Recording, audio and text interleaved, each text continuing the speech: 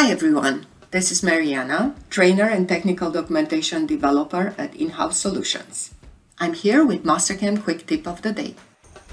In this video, I'm going to explain how Analyze Dynamic works in Mastercam. Analyze Dynamic allows you to check any position along an entity.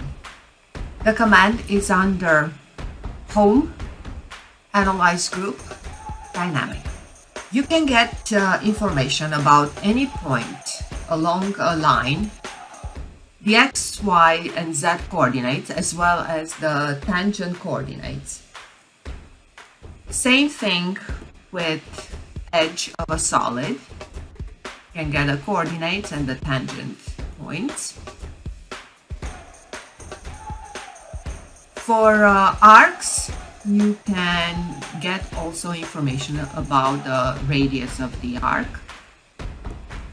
And for surfaces and solid faces, you can get information about any point along them, the normal, and the minimum radius of curvature. Additionally, Analyze Dynamic displays information about the color, including the RGB values of the selected entity.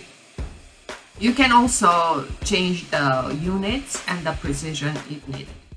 This concludes the quick tip of the day. Thank you for watching.